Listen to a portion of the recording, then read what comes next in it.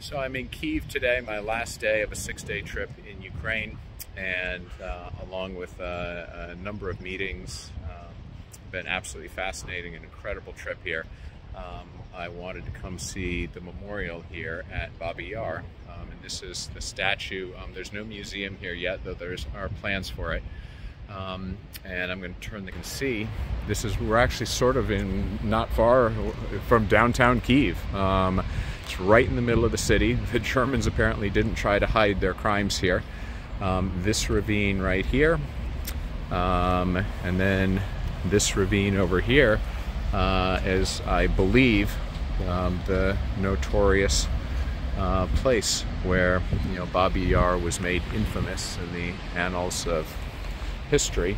Uh, one of the worst crimes against humanity. Uh, what happened here was uh, between 1941 and 1943, the entire Jewish population of Kiev, the largest city in Ukraine, was murdered here. Um, the, the Nazi army swept through Ukraine uh, on their way to Russia as part of Hitler's attempt to conquer Russia. And um, this would be 1941, I believe.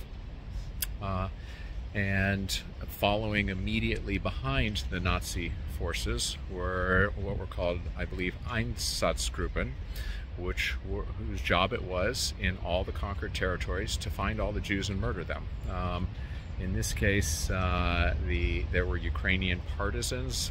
Um, it's still a matter of historical record and debate how widespread the collaboration with the Nazis was in general, and in particular in murdering the Jews uh, of Ukraine, but there were certainly a number of instances where there was active, enthusiastic participation by Ukrainians.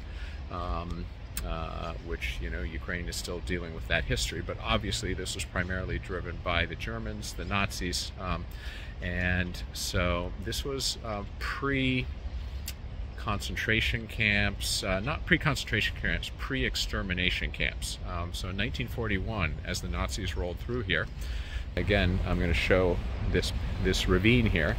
Um, they uh, rounded up all the Jews in Kiev, tens of thousands, uh, uh estimated 70 to 100,000 over the course of three years.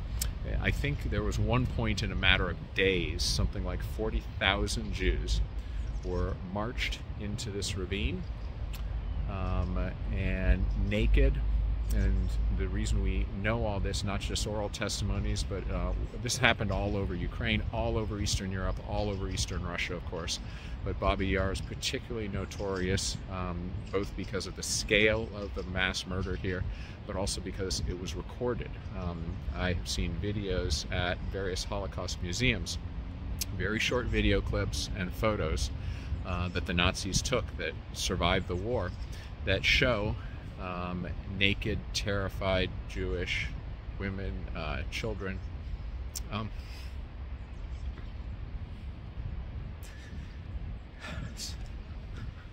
sorry.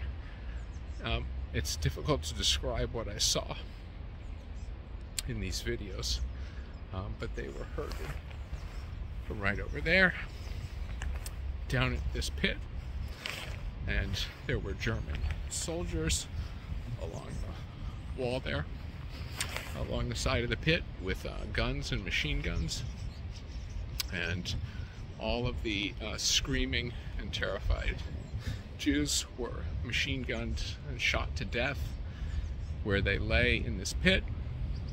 And then a few minutes later, the next group uh, of Jews were herded down on top of the bodies of the uh, dead, their dead friends, relatives, fellow Jews of, of Lviv, and the murdering continued. Um, so that is the story of what happened here at Babi Yar. I forgot to answer one question people might have, which is, wait, wasn't the Holocaust the Germans rounding up the Jews of Europe and sending them on trains to places like Treblinka and the most notorious place, of course, Auschwitz, Auschwitz-Birkenau, which in fact I visited uh, three weeks ago on my last visit to Ukraine uh, when uh, it's, it's just on the outskirts of Krakow, which is the city I flew in and out of. Um, and so why didn't that happen here? And the answer is, is simply timing. Um, the Nazis came through here in 1941 on their way, um, and uh, they were at that point murdering Jews sort of by hand, uh, by form of bullet. Um, and often individually, and in this case, you know, in groups, but still person to person. Um, and they uh, found there were the, the sadistic Nazi minds uh, found there were two problems with this. Um, one is it was simply exhausting mentally and physically for their troops. It was um, distracting them from uh, their war fighting. Uh, was the second reason, and the third reason is is it was consuming a lot of bullets, um, which they needed for their war.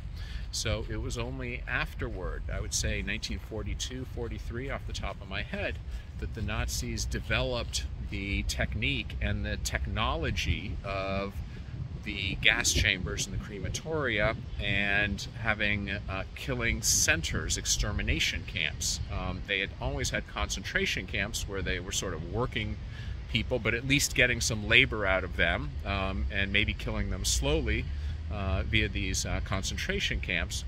Uh, but extermination camps, if I were to guess, came came along in 1943 or so and that's what most people think of um, with the trains um, and the people getting off the trains and 90% of them being herded straight into their they were being told that they were going to take showers or delousing or something um, and instead uh, they were herded into a room and uh, the chemical Zyklon B was poured in from the roof uh, the pellets and it created the gas that killed them and then the bodies were immediately um, taken uh, to the crematoria and so, literally within half an hour of arrival at Auschwitz's sister extermination camp, Birkenau, again, which I visited, I saw this, uh, the, the, buildings, and the, um, the, Germany, uh, the Germans at the end of the war um, tried to hide their crimes by tearing down the buildings and all, but you can still see the remains and where this happened.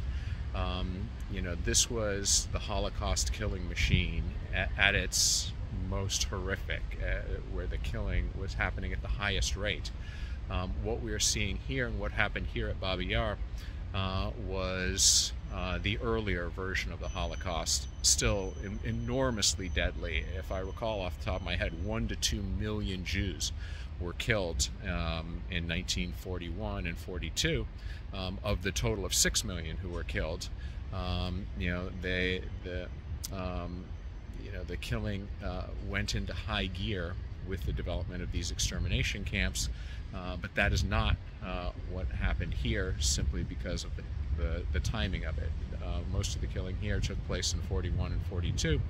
Um, you know, had this happened, had the invasion here happened later, um, then no doubt the Jews of Kiev would have been put on trains and sent to Treblinka and Birkenau and so forth. Um, but instead, uh, they were uh, machine gunned right here in this trench.